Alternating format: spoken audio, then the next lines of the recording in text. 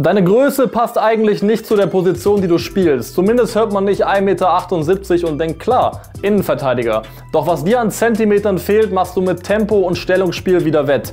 2,48 abgefangene Bälle pro 90 Minuten im letzten Jahr, nur 0,35 Mal pro 90 Minuten dribbelt an dir jemand vorbei. Gegen den Ball gehörst du am Boden zu den Besten auf deiner Position. Nicht umsonst warst du mal 30 Millionen Euro wert. 18 Millionen sind es heute immer noch und das, obwohl du an Silvester schon 30 wirst. Außerdem wer deinen Weg gegangen ist, der kann auch mit 1,78 Meter Abwehrchef sein. Deine Reise in den europäischen Fußball führte über Togo, Benin und den Kamerun nach Spanien, wo du heute noch bzw. wieder spielst. Du bist Kapitän der Nationalmannschaft und du bist auch Kapitän deines Vereins. Damit bist du in der Liga zurzeit der einzige Afrikaner, der die Binde trägt. Und ganz ehrlich, du hast sie dir verdient. Denn du, du bist der togolesische Cannavaro. Du bist Dakonam Ortega Gene.